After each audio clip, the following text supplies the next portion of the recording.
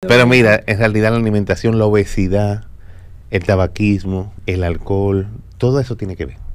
El uso de, de, otro tipo de sustancias no legales tiene mucho que ver con la infertilidad.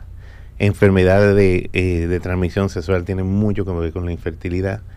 Procesos eh, anovulatorios, o sea, trastornos hormonales que tengan que ver con, la, con el ciclo menstrual, tiene que ver mucho con la fertilidad. El, tipo de trabajo.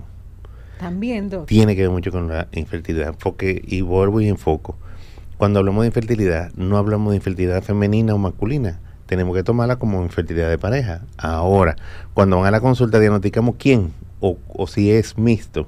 Entonces, mucho, por ejemplo, en el caso de los hombres, hombres que trabajamos sentados en una oficina, hombres que trabajamos manejando o en un sitio de hace mucho calor, también como hombres tenemos problemas de infertilidad.